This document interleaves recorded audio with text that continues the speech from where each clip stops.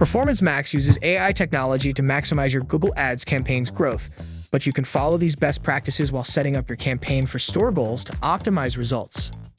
We recommend you run your campaign for at least 30 days, but shorter campaigns for seasonal events are also effective. Conversion tracking is essential to running a Performance Max campaign.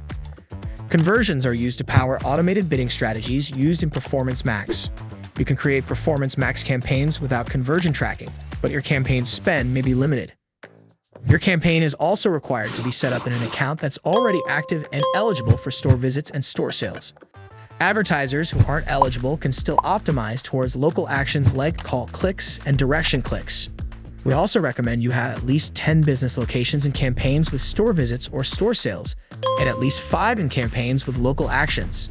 Set conversion values for each goal applied to your account. For example, value each store visit at $25 and calls at 10.